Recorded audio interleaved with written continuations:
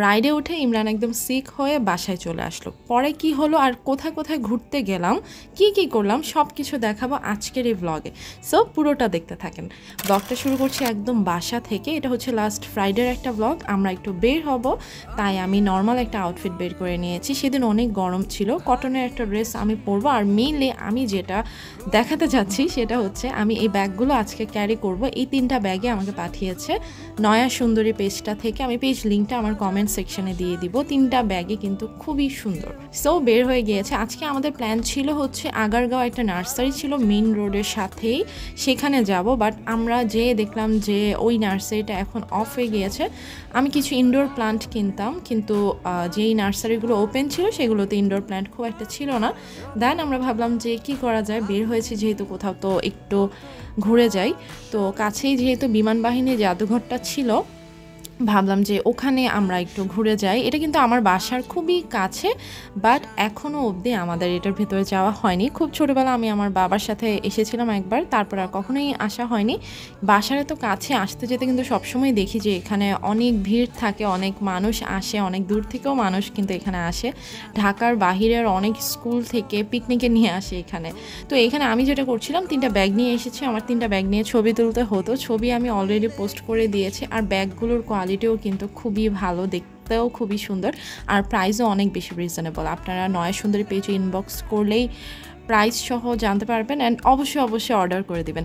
আমি যেটা করলাম, এখানে আলাদা একটা স্পেস আছে মানুষ একটু কম ছিল। এখানে যে আমি আগেই হচ্ছে কিছু ছবি তুলে নিয়েছিলাম দেন এখন আমরা শুধু ঘুরবো আর দেখব যে আর কি কি আছে এখানে। এই জায়গাটা যে এত বড় আমি না ইমাজিনও করতে পারিনি। লাইক আমরা তিন ভাগের এক ভাগও তো ঘুরে শেষ করিনি। তাও আমার কাছে মনে হচ্ছিল যে অনেক বড়। অন্য সাইডগুলো তো আমরা যাইনি, যেতেই পারিনি। তো আমরা একটু চিপস আর হচ্ছে সফট ড্রিঙ্কস নিয়ে নিয়েছি। কি সুন্দর লাগছে দেখতে জায়গাটা। এখনও অবধি আমি জানতাম না যে ভেতরে অনেক রকমের রাইড আছে, বাচ্চাদের খেলার জায়গা আছে, তারপরে বোট চালানো যায়। এগুলো নিয়ে আমার আইডিয়া ছিল না। হেঁটে হেঁটে ভেতরের দিকে যেতে যেতেই দেখলাম যে এখানে একটা বাচ্চাদের কিডস জোন আছে, যেখানে টিকিট কেটে আপনি আপনার বাচ্চাকে নিয়ে এন্ট্রি করতে পারবেন অ্যান্ড বাচ্চাদের অনেক রকমের গেম অ্যান্ড আদার্স অ্যাক্টিভিটিস আছে। এই যে দেখতে পাচ্ছেন, বাচ্চারা কি সুন্দর এনজয় করছে। দেন এই যে এটা হচ্ছে বোট ক্লাব এখানে লম্বা লাইন ছিল বোটে ওঠার জন্য। টিকিট কেটে লাইনে দাঁড়াতে হবে। বিশ তিরিশ মিনিটের মতো মেবি বোট চালানো যাবে আর কি। সেদিন ফ্রাইডে ছিল, তো তাই এত ভিড় ছিল। নর্মালি মেবি এত ভিড় থাকে না। বোট চালানোর জায়গাটা ছোট। এখানে এইটুকু জায়গার মধ্যে আপনি বোট নিয়ে ঘুরতে পারবেন। বড় বড় বোট ছিল অনেক, যেখানে আপনি ফ্যামিলি সহ উঠতে পারবেন। অনেকজন একসাথে উঠা যাবে আর কি। তারপর একটু সামনে আসতে দেখলাম যে এই ভয়ঙ্কর রাইডটা মাই গড এটা দেখতেই কি ভয় লাগছে আমার। তাও আমি উঠতে চেয়েছিলাম, কিন্তু ইমরানের জন্য আমি আর উঠতে পারলাম না এটায়। দেন এখানে আরও অনেক অনেক রাইড ছিল। এই দোলনাটা ছিল, এটা আমি পরে উঠেছিলাম, আপনাদেরকে দেখাবো।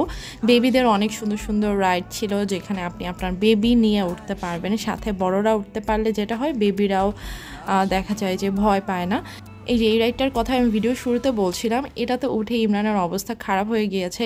এটা কিন্তু দেখে আমাদের মনে হয়েছে যে নর্মাল কিছু হবে জাস্ট ঘুরবে, কিন্তু উঠার পর বুঝলাম এটা কি ডেঞ্জারাস ইমরান তো এটাই ওঠার পরই ওর বমি লাগছিল, মাথা ঘুরাচ্ছিল। আমি আবার এনজয় করছিলাম রাইডগুলো একটু ভয় না লাগলে আমার কাছে মজা লাগে না। দেন এই যে ওটা শেষ করে আমি আবার এই দোলনাটাতে উঠলাম, এটাতে উঠে আমার ঘুম পাচ্ছিল, মজাই ছিল, কিন্তু অনেক কম সময় ঘুরায় আর হচ্ছে দোলনা যেমন হয় আর কি, কোনো ভয়টাই লাগে না। ভয় না লাগলে না মজা লাগে না। আমি এক্সপেক্ট করছিলাম আরও কিছুক্ষণ ঘুরাবে। এটাতে আর ইমরান উঠেনি ওর অবস্থা অলরেডি খারাপ। আমার শুধু মন চাচ্ছিল যে সবগুলোতে একবার একবার করে আমি উঠি। তারপর আমরা চলে আসলাম। আবারও ওই লেকটার কাছে রাতের বেলা আরও সুন্দর লাগছিল দেখতে। লাইটসগুলোর কারণে ভালো লাগছিল। এখানে আমরা কিছুক্ষণ বসেছিলাম। সুন্দর বাতাস ছিল। তারপর ইমরানের যেহেতু শরীর খারাপ লাগছিল, ও বাসায় চলে আসতে যাচ্ছিল দেন আমরা আইসক্রিম কিনে খেতে খেতে বাসায় চলে আসি।